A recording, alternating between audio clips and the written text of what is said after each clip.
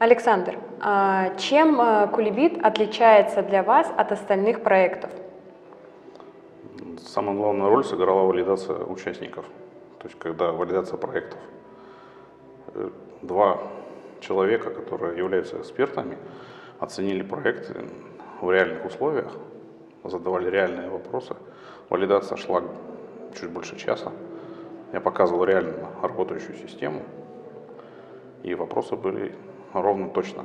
То есть как бы на всех остальных как бы, конкурсах обычно это либо ограничиваться презентацией, даже нет интуирования, то есть участников.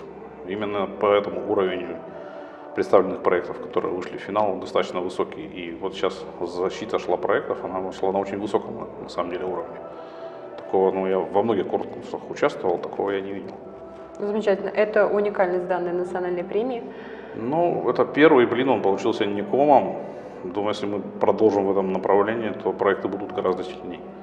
Замечательно. Я думаю, что мы будем только-только развиваться. А, может быть, э, есть какие-то замечания к организаторам, может быть, пожелания на будущее?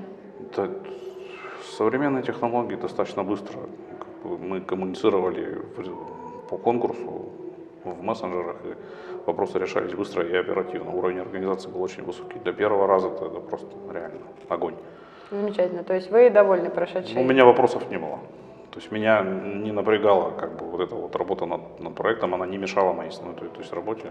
Все хорошо, все здорово. Замечательно. Будете участвовать на следующий год? Ну, у меня есть интересная тема, я ее немножко озвучила, она уже стала, то есть ин- интересно, конечно, было.